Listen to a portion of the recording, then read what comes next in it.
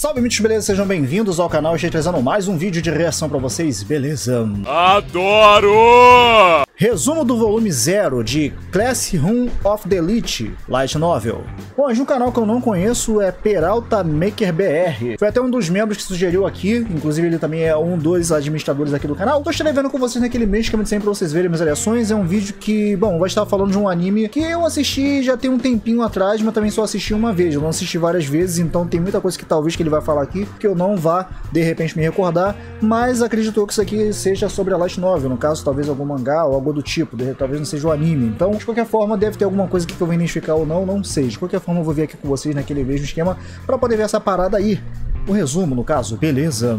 Com certeza. Mas antes, deixa seu like, se inscreva no canal, ativa o sininho se você for novo ou nova no canal. Sejam bem-vindos. Ai, que delícia. Reiters, a poderosa Blast Shark ali em cima, pegue e beija à vontade, continue me dando visualizações e aproveita para nadar com o tubarão. Vem brincar comigo, vem. e sem enrolação, sem demora, bora para o que interessa, direto para o react. É claro, depois da vinheta. Valeu. Alexandre Nária. Salve, salve galera, Peratão aqui, espero que vocês estejam Opa. bem. Hoje finalmente trago para vocês o Peralta resumo é da série que eu gosto, zero de Class Brooklyn Elite, Nine-Nine. da história da Sala Branca. Quem quiser ler a Light Novel, link na descrição. E sem mais rolar, vamos pro vídeo que tá grande, hein? Bora! Bora que bora.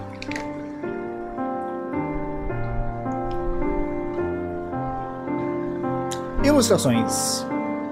Thomas A ambição é uma paixão tão imperiosa no coração humano que, mesmo que galguemos as mais elevadas posições, nunca nos sentimos satisfeitos. Nicolau Maquiavel.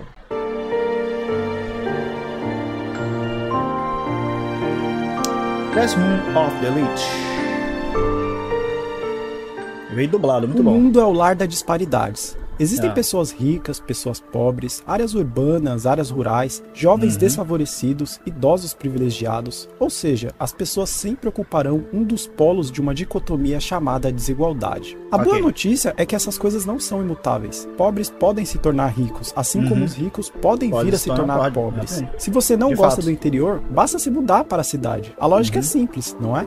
Até é, mas são poucos aqueles capazes de romper o espesso muro da desigualdade. Entretanto, havia um homem que estava disposto a encarar esse desafio. Seu nome era Ayanokoji Atsuomi. Atsuomi nasceu no campo e foi criado por seus avós em extrema pobreza após ser abandonado por seus pais. Ele não foi abençoado com nenhum talento em especial, porém havia algo que o diferenciava dos outros por ele possuir em excesso, uma ambição desenfreada que estava acima de qualquer valor moral. Eita. Ao tornar-se adulto, Atsuomi abandonou sua avó e começou sua escalada até o topo. Primeiramente, após uma primeira tentativa desastrosa, ele tornou-se político ao entrar no importante partido do governo e vencer a sua primeira eleição. Em seguida, ele começou a subir na hierarquia do partido ao realizar diversos trabalhos sujos, até se Ih, tornar um dos rapaz. homens de confiança de Naoi Sensei, que era um dos grandes líderes de seu partido político. Para Ok. subir mais um degrau na hierarquia, Atsuomi conclui que mais transgressões serão necessárias enquanto indiferentemente observava uma criança recém-nascida, seu próprio filho, ser Hum, levado é para a experimentação do projeto Sala Branca, Atsuomi lembra do momento em que ocorreu a virada de chave em sua vida.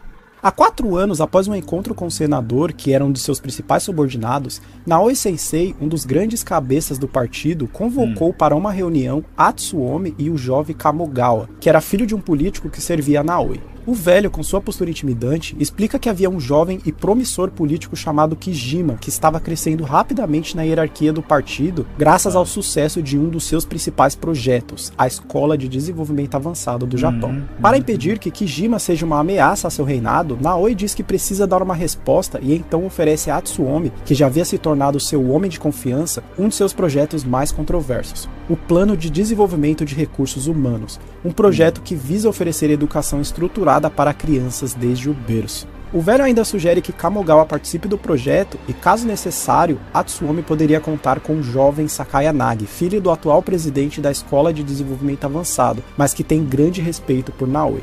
Atsuomi concorda com os termos e enquanto se despediam, ele é apresentado a um dos coringas de Naoi Sensei, o sombrio e intimidante Tsukishiro Tokinari.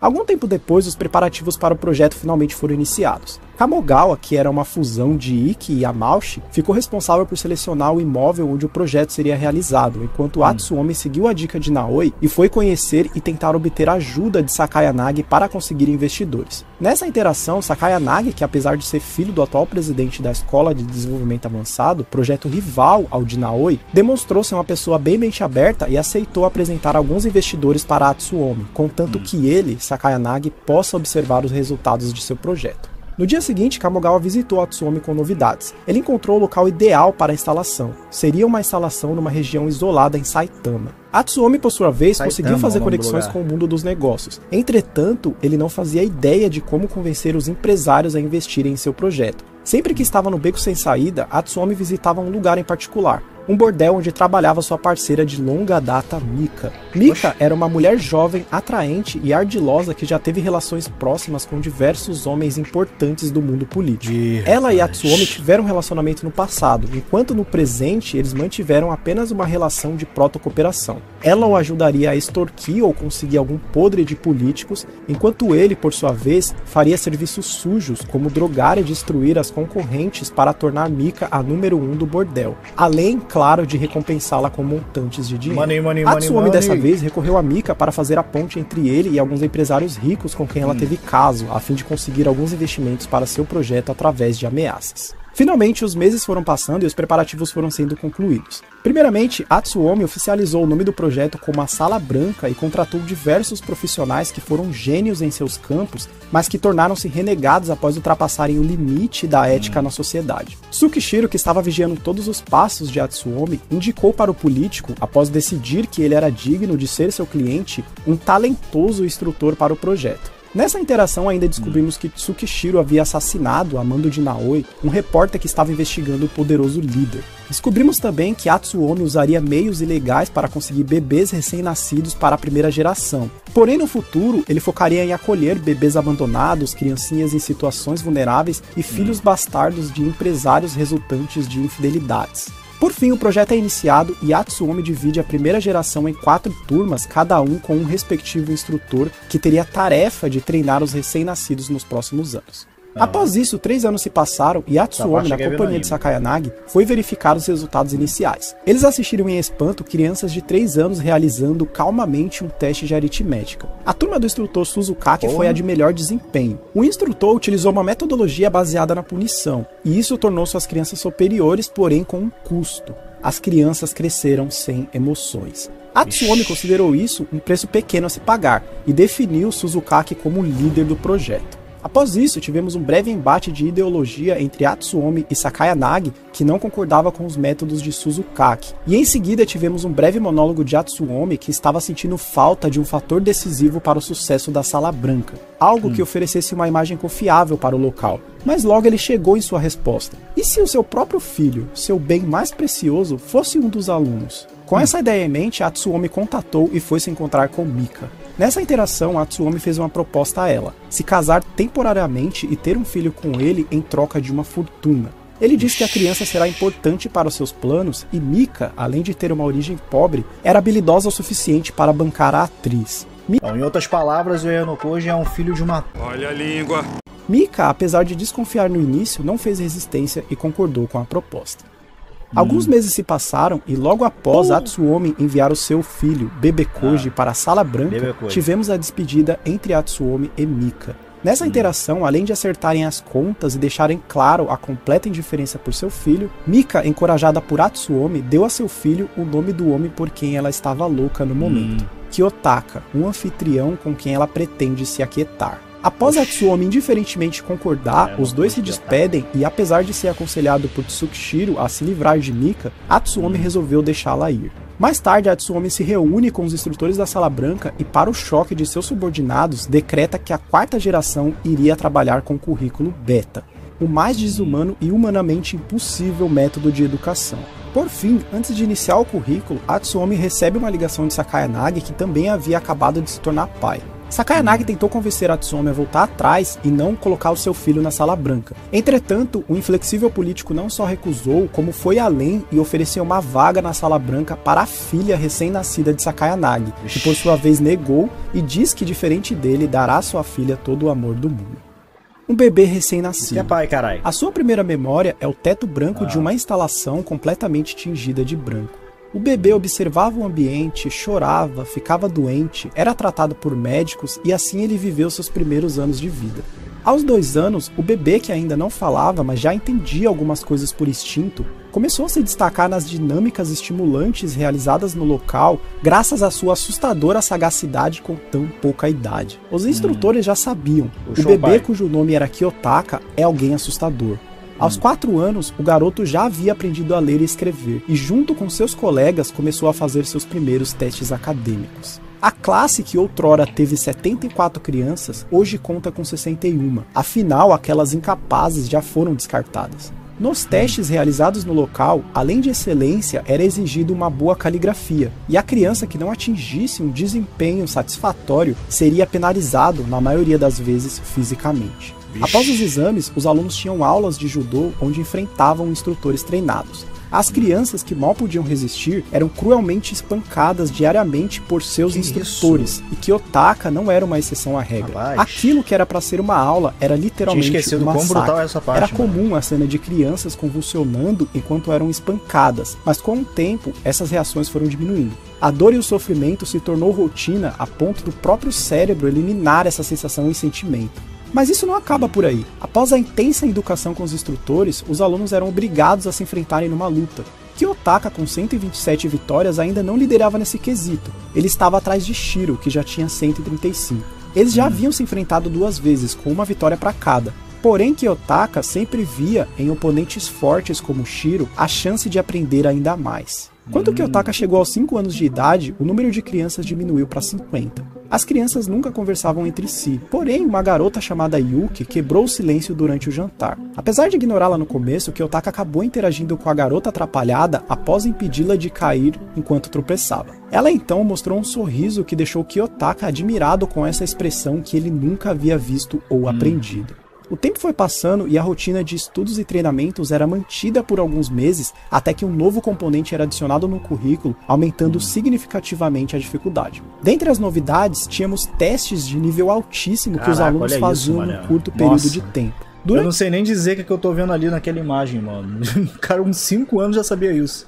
um destes Você é testes em que os alunos mano. quebravam a cabeça para tentar isso. resolver, Kiyotaka parou Parece na eu última no Enem. questão e ficou esperando o sinal tocar. De repente, um homem de terno É. invade a sala, se dirige até Kiyotaka e diz: Kiyotaka, Hum. quero que se lembre bem disso. Aquele que tem um poder, mas não sabe como usá-lo, jamais passará de um tolo. Este homem era ninguém menos do que Ayano Koji Sensei, que na sequência levou Kiyotaka para uma sala ao lado. Eles então tiveram uma interação onde descobrimos que Kiyotaka havia notado que o nível do teste aumentava drasticamente caso algum aluno gabaritasse a prova. Assim, ele se conteve e limitou sua nota para 80 pontos. Ayano Koji Sensei questiona se o objetivo do garoto era impedir que outras crianças fossem descartadas, ou seja, se o garoto havia desenvolvido empatia. O garoto, por sua vez, diz que queria sim diminuir as desistências, porém nunca considerou as crianças ao seu redor como amigas ou algo do tipo.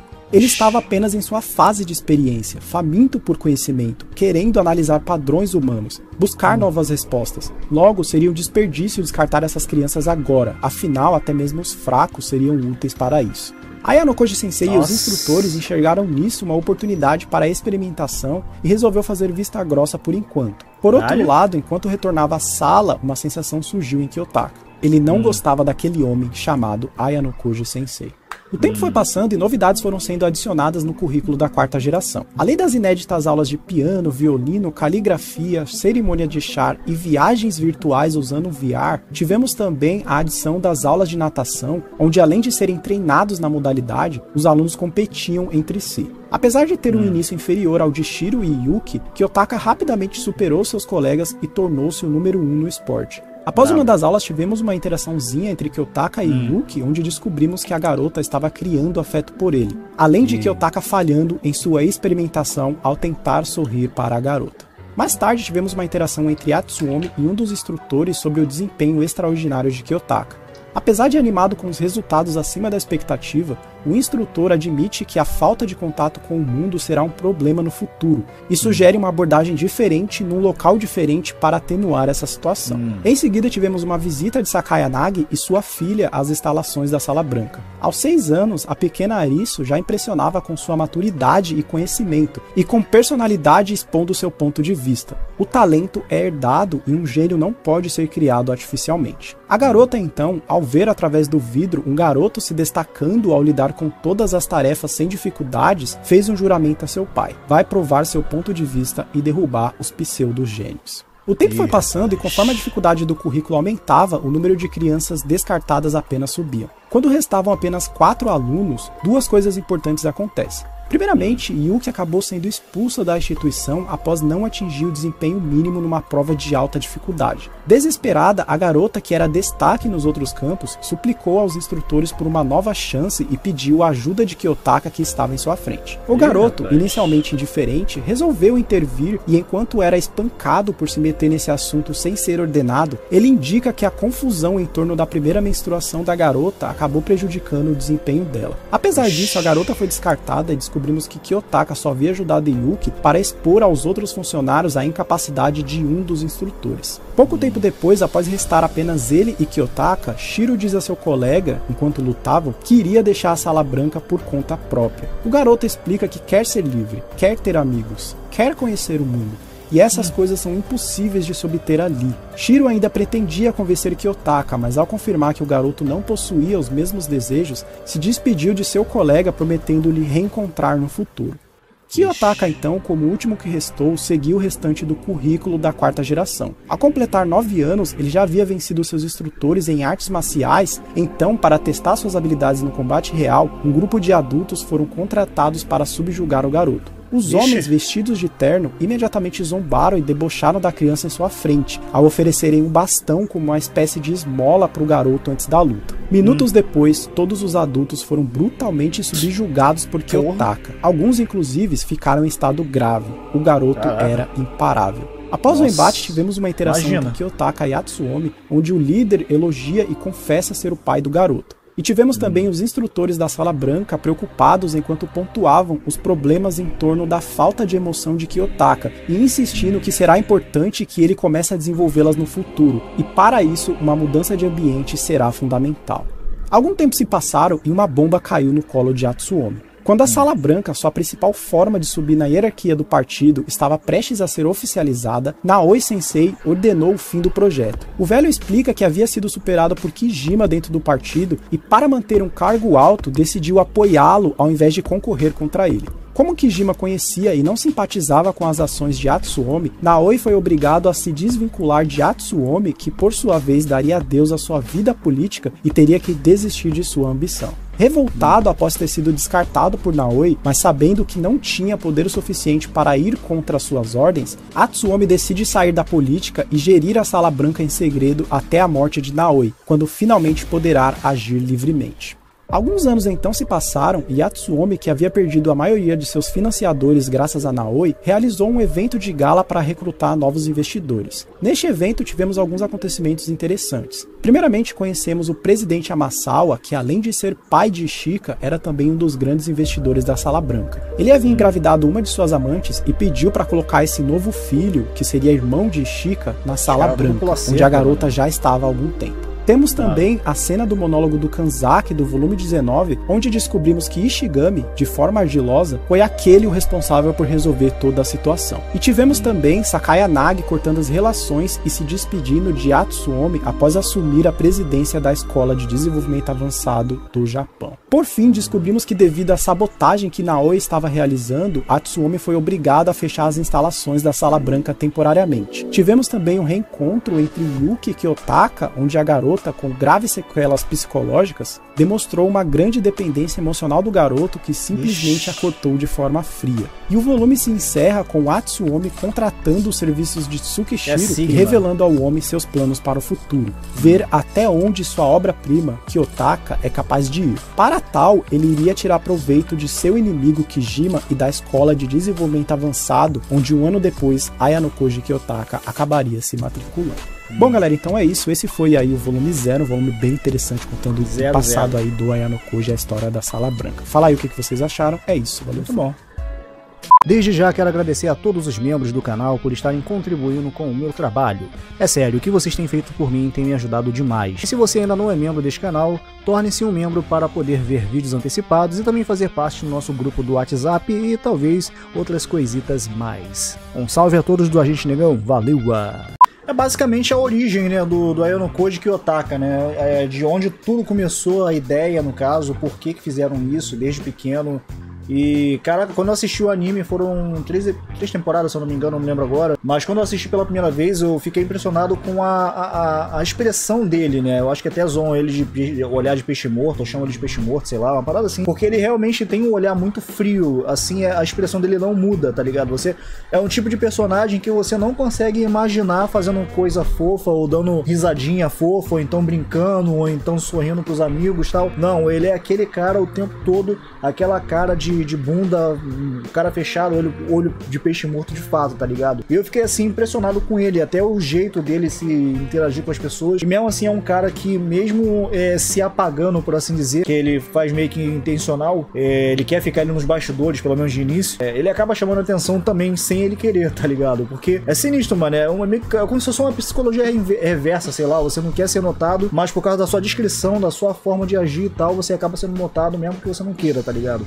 E ele, porra, na hora que eu vi no anime, caraca, mano, eu fiquei impressionado com o estilo dele. Eu também. E vendo aqui esse volume zero, né? Ou seja, para mim é como se fosse o início de tudo, mostrando desde quando aconteceu até chegar onde a gente conhece no anime. Então a gente tem uma noção do porquê que ele é desse jeito. E é sinistra essa parada dos bebês, cara. O cara, imagina você pegar o teu filho, o meu filho no caso, botar ele para ficar fazendo ali as, a, várias provas, passando por várias dificuldades, apanhando igual um condenado, se não conseguir passar ou se não conseguir entender ou aprender. Caraca, eu não consigo me ver fazendo isso com meu filho, não. Na moral, mano. O cara tem que ter muito coração de gelo para fazer isso com o próprio filho, tá ligado? É verdade. Bom, gente, é isso. Eu espero que vocês tenham curtido meu react. Não falei muito no decorrer do vídeo, porque como é de um assunto que, embora eu já tenha assistido, mas não é um anime que, tipo, ó, caraca, eu gravei, guardei tudo. Não, tem que. Pra eu guardar tudo tintim por tintim, eu tenho que ver, tipo, umas duas, três vezes. Igual Yu Yu Hakusho, eu já fiz isso várias vezes, entre outros animes que eu já parei pra assistir várias vezes, tá ligado?